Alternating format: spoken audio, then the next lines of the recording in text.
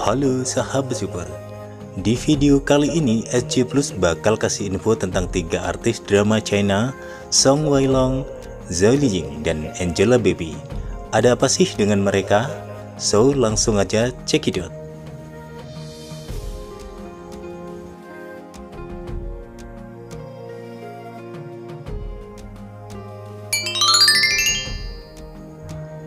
Dijulukin sebagai produser emas, produser China Yu Zheng selalu bicara belak-belakan tanpa takut serangan para netizen dan bahkan kerap dikritik para netizen secara online.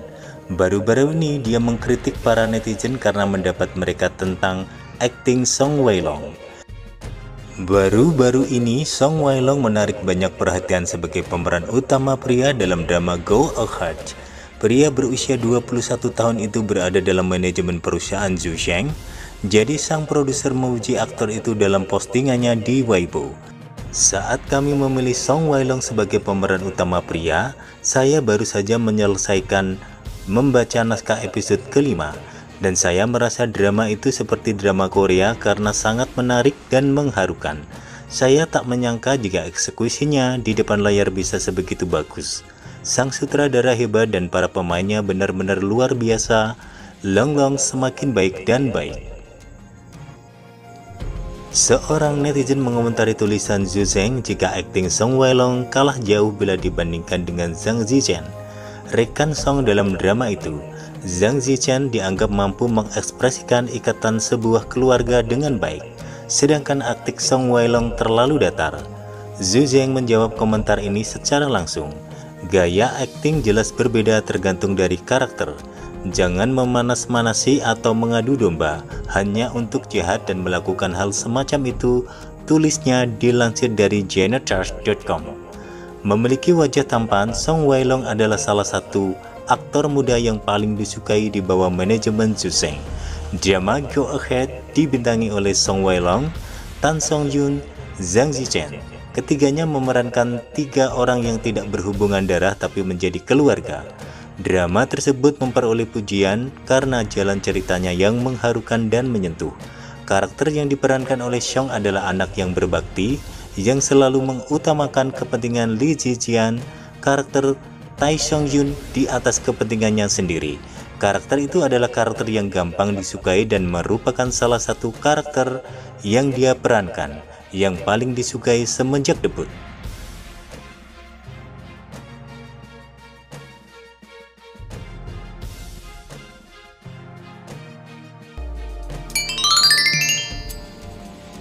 Sementara itu, Angela Baby adalah selebriti internasional dan memiliki 100 juta followers di Weibo. Tapi dia selalu dikritik terutama terkait kualitas aktingnya. Angela Baby pernah menanggapi kritik itu sebelumnya dan mengaku jika dia tidaklah bahagia dikenal untuk hal-hal selain karyanya. Dia mengakui jika dia ingin memiliki karya yang akan selalu diingat oleh masyarakat.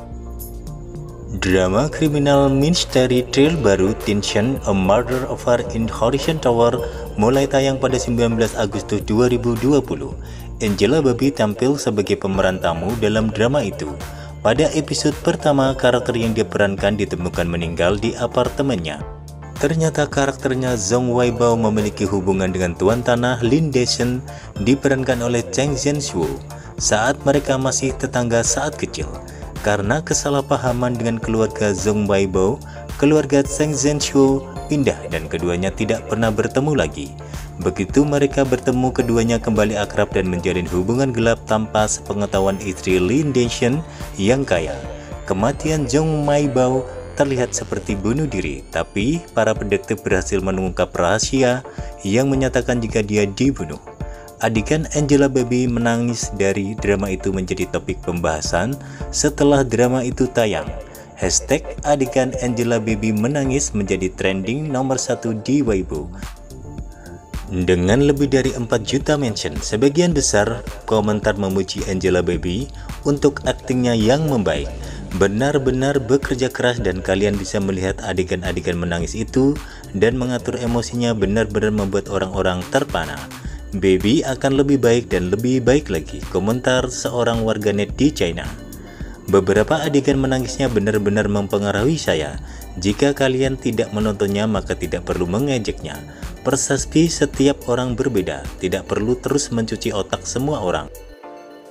Bahkan saya benar-benar suka suaranya yang mengucapkan dialog, terdengar bagus dan sangat lembut, komentar yang lain.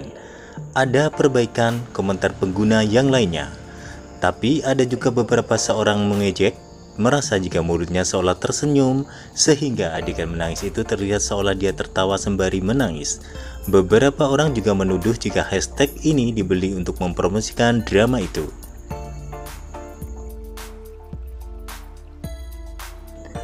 Netizen memang maha benar ya.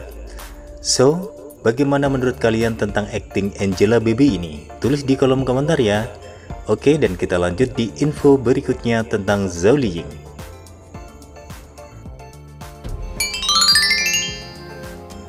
Setelah selesai syuting drama Legend of Fai Jiaoling dijadwalkan untuk mulai syuting Jingfu Dao Wanjia atau Happy One Family disutradari oleh Zheng Xiaolong.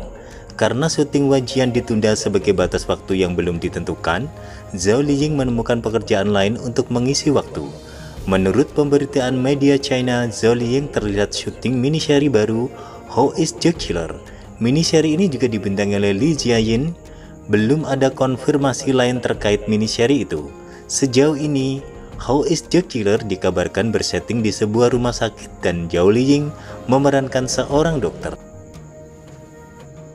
Who is the Killer diproduksi oleh Miwo Theater Ahiye yang khusus memproduksi trailer pendek di bawah 20 episode.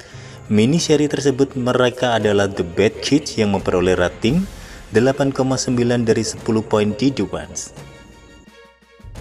Zhao Liying sendiri sejauh ini masih diharapkan bakal kembali bersama Kenny Lin untuk membintangi drama Princess Agent Season kedua.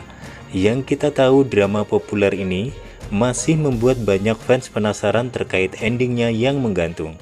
Tentu saja rencana season kedua ini merupakan angin segar buat fans yang mengidolakan drama ini. Dan tentunya dua tokoh utama yang diperankan oleh Kenny Lin dan Janelia Zhao. Sejauh ini belum ada konfirmasi resmi terkait daftar para pemain apakah Zhao Liying dan Kenny bakal kembali untuk season kedua ini. Karena jika mereka tidak kembali untuk season kedua, tentu saja akan banyak fans kecewa karena bagi para fans Princess Agent adalah Zhao Liying dan Kenny Lin. Nah guys, itulah tiga info dari artis Cina Song Wailong, Zhao Liying, dan Angela Baby. Manakah dari tiga artis ini yang menjadi favorit kamu? Tulis di kolom komentar sampai jumpa di next video.